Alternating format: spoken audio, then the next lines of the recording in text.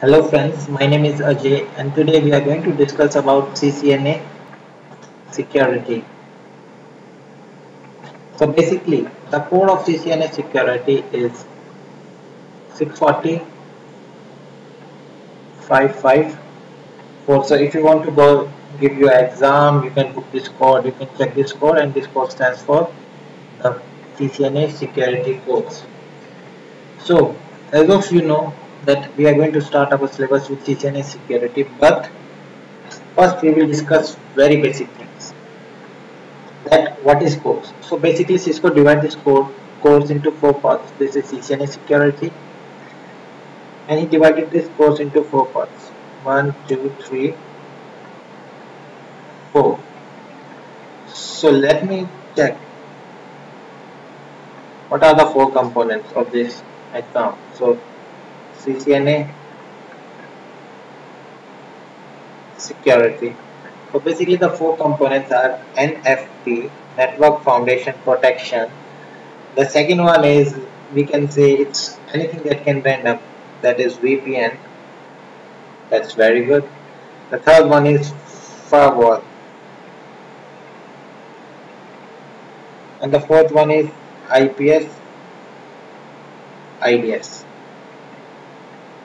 So later, according to the Cisco, that this part will become CCNP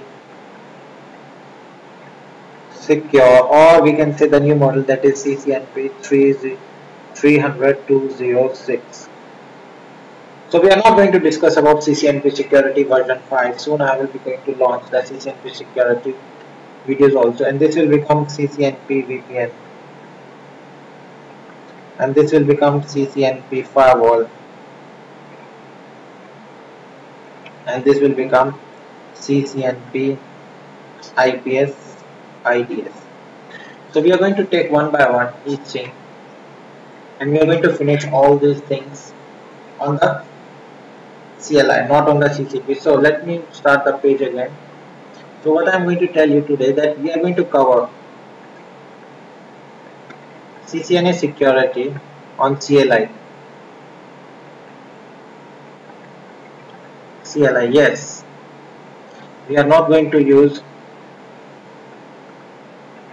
not going to use GUI. Why? Why I'm not taking GUI and why I'm choosing CLI? There is a reason. See, GUI is easy. GUI means next. Click on next and then click on finish that's it. Your routing protocol is done. Your VPN is done. Everything is done. Anyone can, we are not going to aware what is happening in our background. So CLI you need to type the commands. CLI typing the commands. See if you are typing the commands we know okay this command is going to impact our network like this. This command has the functionality of this. So that's why we are going to focus on the CLI most of our approach towards CCNA security is CLI. So I can say we have two options of CCNA security. CLI or GUI CCNA security. CLI that is command line interface GUI graphic user interface. So we are going to avoid this thing We will discuss each and every command. Why I am running this command. See why is CLI first. We will discuss why I am running this command. Any command that we are going to type, we will discuss why I am typing this command. And what is the impact on my network. After typing this command.